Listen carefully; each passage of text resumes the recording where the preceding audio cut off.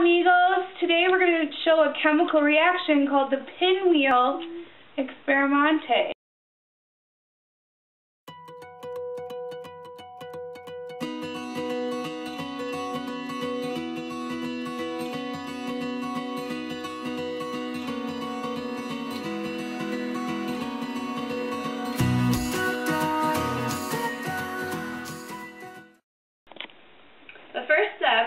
Pour milk into this bowl.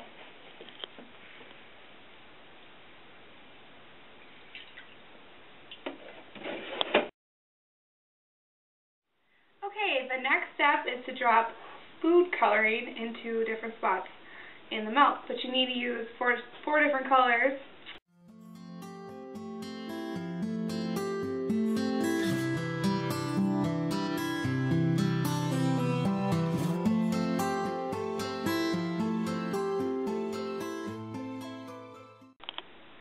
The next step is you'll take your dish detergent and your Q-tip and you're going to place some of the um, dish Dawn soap onto the Q-tip.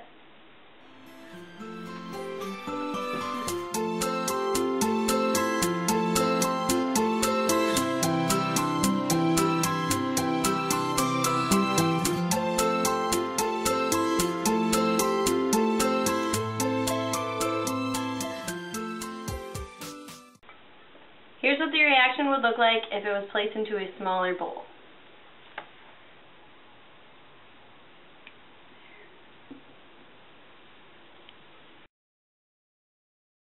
So our next idea was to try this with water and see if it would still work.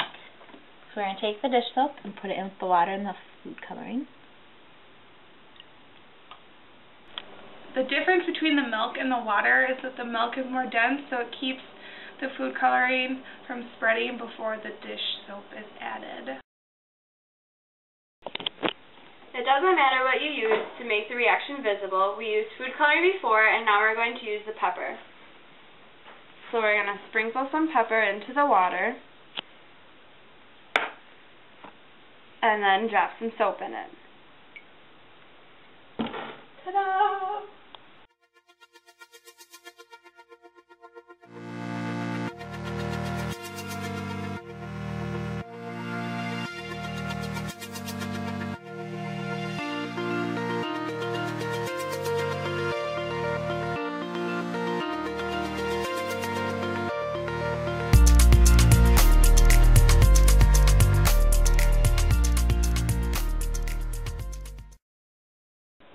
This experiment works really well if you put the food coloring drops closer together.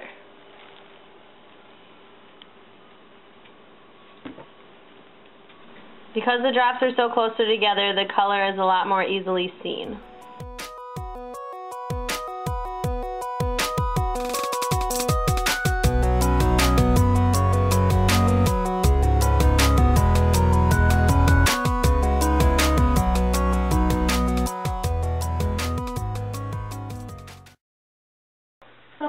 Does it work? Good question. Milk is mostly water, but it also contains vitamins, minerals, proteins, and tiny droplets of fat suspended in the solution.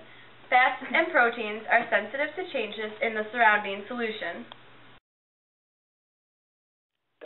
Hey Nico, did you know when you add soap, the weak chemical bonds that hold the proteins in the solution are altered and it becomes a free-for-all?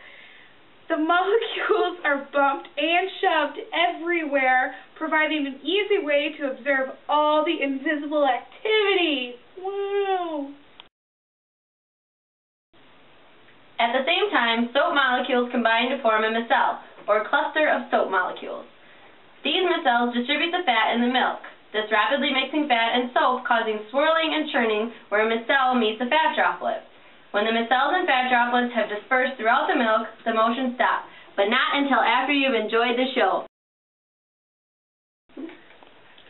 There's another reason why the colors explode the way they do. Since milk is mostly water, it has surface tension like water.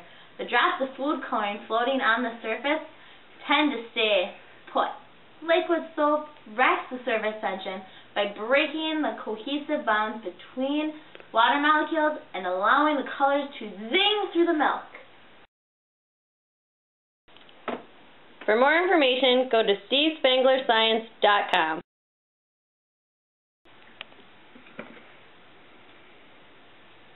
Ooh.